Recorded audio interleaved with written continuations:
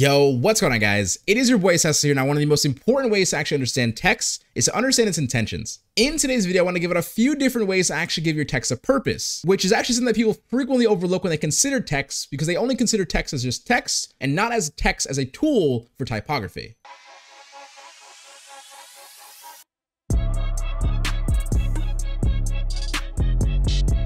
So for the first expiration, we're using text as a surface foundation. To replicate something like this, all you guys have to do is have your text layer ready, make a duplicate by alt dragging or control J, then make that duplicate a smart object. Control T to free transform. Now right click, flip vertical, and line up the edges. Right click again, perspective. Take the right corner and drag it out towards the right. Finally, create a layer mask and use a black to white gradient tool, or if you guys are using color, color to white, to actually create the shadow, making sure that you line up the dark side of the gradient tool to the back side of the text. How this actually sets you up is using your actual text as a perspective wall or flooring placing people or objects on the bottom half. However, additionally, you can take this and use it a few different ways. You can either take away the flooring to allow the text to become a more believable wall, or taking away the back and allowing the flooring to stay, to allow for a structure to sit behind it all. Do not be afraid to experiment with perspective and distortion when you right click to achieve walls, maybe on the left and right of a canvas, or at a different vertical or horizontal perspective for flooring. So for expiration number two, we're using text as a shape to cradle subject matters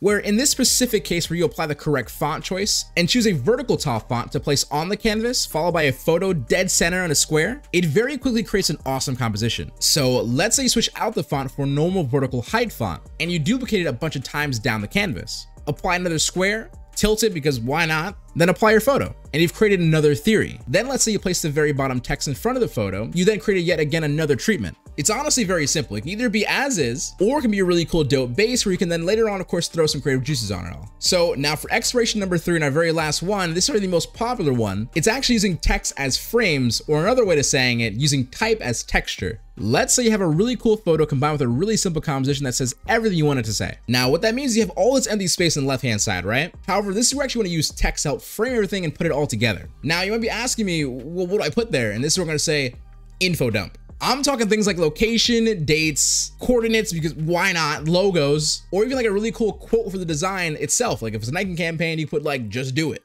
However, with this, you can stylistically do a few different things. You can do single lines, double lines, decrease the space of the first two lines and make the third one a little bit longer. You can introduce a literal line if you don't have much to actually talk about. Maybe you include a stroke shape to hold the shape inside. Or lastly, some different weights to maybe provide context that maybe you want people to actually notice honestly, there's there's no limits. And what's crazy is it also doesn't have to even say in a line. It can even be texture you place on the actual photo itself, then later on on the canvas, later on the uh, another side of the canvas. It honestly doesn't matter. Now, at the end of this video, what I'm actually hoping you guys actually take away from me is that you remember that the text tool is a tool. And what that tool is used for is typography, not always just a slap and go when everything in the design is done. Now, for the record, in this video, what we witness is me using two different styles of fonts. I use a sans serif font and a mono typeface. Now, including everything we just went over, the actual style and the design itself and typography overall changes even if you want to go for like an urban concept, use like a cool graffiti font, maybe like brick, like my font that I actually released like two weeks ago. It will actually create an entirely different design with just like changing the font. I honestly consider it a pretty special thing. Now, let's say the next time you actually go design surfing for references, which I might say, SesoHQ.com slash inspiration for all my previous mood boards